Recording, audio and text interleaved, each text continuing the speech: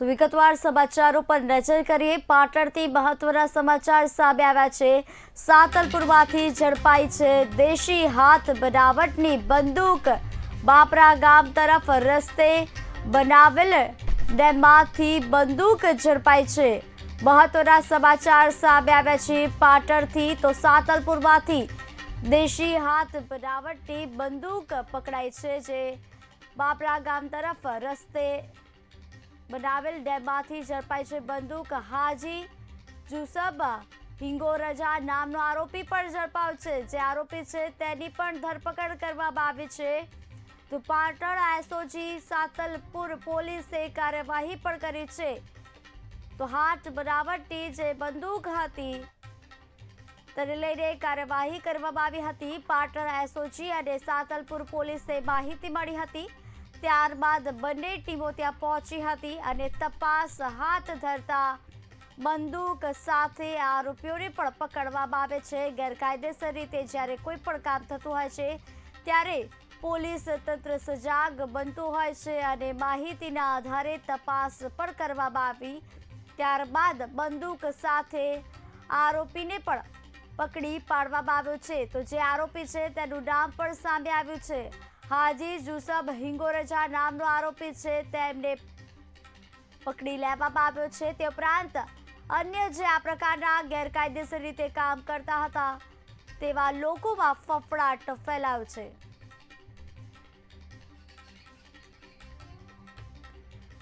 અંગે વધુ વિગત જણાવવા માટે અમારી સાથે સંવાદદાતા વિક્રમ જોડાઈ ગયા છે. જી વિક્રમ, જે પ્રકારે હાથ બનાવટની બંદૂક સાથે આરોપીને પકડી પણ લેવામાં આવ્યો છે. ત્યારે આપની પાસે શું છે અપડેટ? જી નિષ્ઠા ચોક્કસથી જણાવી દઉં કે પાટણ જિલ્લાના સાતરપુર પોલીસ સ્ટેશન વિસ્તારમાં ગઈકાલે એસઓજી પેટ્રોલિંગમાં હતી. તે સમયે એસઓજીને ખાનગી રાહે બાતમી મળતા સાતલપુર પોલીસ સ્ટેશન વિસ્તારમાંથી દેશી હાથ બનાવટી બંદૂક સાથે હાજી યુસુફ નામના આરોપીની ધરપકડ કરવામાં આવી છે અને આગળની કાર્યવાહી હાથ ધરવામાં આવી છે. તો હાલ તો પાટણ જિલ્લા પોલીસ અસામાજિક પ્રવૃત્તિઓને રોકવા સક્રિય થઈ હોય તેવું જોવા મળી રહ્યું છે જી. આવા પ્રકારના કોઈ અન્ય પણ બનાવ પહેલા જોવા મળ્યા હતા ખરા? જે ચોક્કસથી અગાઉ પણ આવી જ રીતે દેશી હાથ બનાવટી બંદૂક પણ અગાઉ પણ ઝડપાયેલી છે જી. અન્ય પણ જ્યારે પહેલા પણ આ પ્રકારના બનાવ બન્યા છે તેમ છતાં પણ હજી બેફામ રીતે આ પ્રકારના કામો કરવામાં આવી રહ્યો છે. શા માટે આ પ્રકારની કાર્યવાહી કરવામાં આવી રહી છે? પાટણ જિલ્લા પોલીસ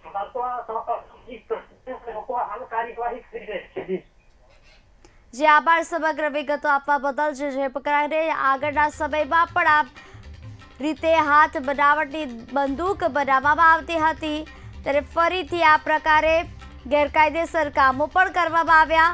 ત્યારે આ વખતે તો એસઓજી અને સાતલપુર પોલીસની કાર્યવાહી પણ જોવા મળી છે. તે ઉપરાંત બંદૂક સાથે આરોપીને પણ પકડી લેવામાં આવ્યો છે ત્યારે લોકોમાં પણ ભય ફેલાવ છે.